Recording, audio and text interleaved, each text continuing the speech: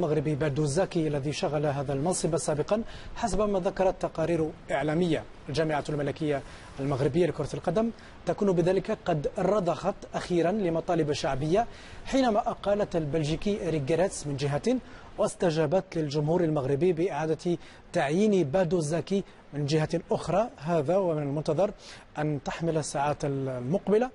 نبأ تعيين المدرب الجديد لمنتخب أسود الأطلس رسميا وتقديمه للصحافة اليوم الخميس.